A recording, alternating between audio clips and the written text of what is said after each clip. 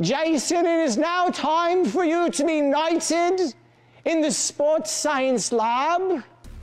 Tatum now weighs a whopping 270, almost a third more than his normal body weight. With our aspiring knight ready for battle, we let him charge. Compared to a normal dunk, the armor restricts his shoulder's range of motion by 30 degrees, and it reduces his apex by 10 inches. But with launching power that equates to more than two and a half times his body weight, Tatum gets enough air to slay the rim. That was amazing!